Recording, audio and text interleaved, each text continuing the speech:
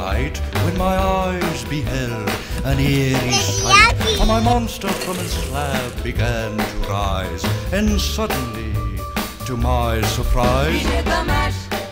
he did the mash.